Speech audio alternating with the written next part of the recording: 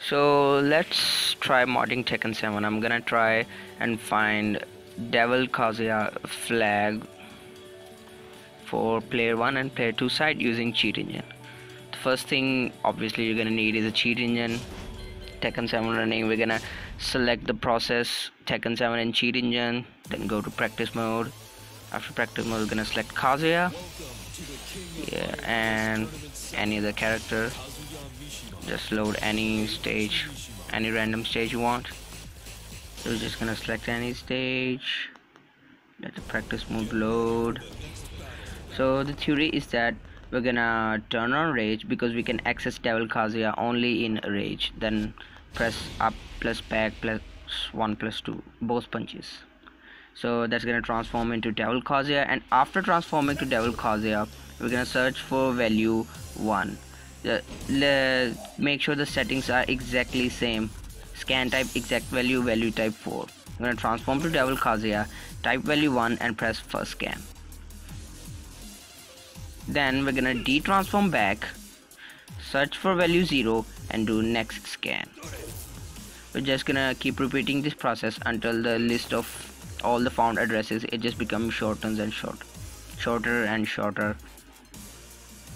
Yeah that's the green address. The green uh, shows the addresses that are currently being used. Just to make sure that this is the correct one I'm gonna try finding more values try filtering the list even further. I'm gonna double click to list it I change its value I change the value to 1 and this is the correct one. This is the correct address. Now I'm gonna change the description. You can't see it on the screen. But there I just changed it. Double flag 1p play 1 now I'm gonna wanna do it for play 2 side. As you can see I've reset the reset the screen reset the game and now I'm gonna change the sides change sides confirm continue.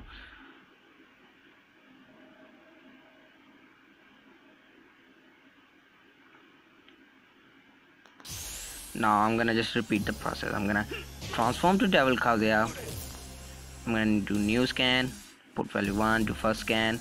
After that I'm gonna scroll down. Now these are the, all the possible addresses that we do we want to find. I'm gonna transform back put value 1 and scan again.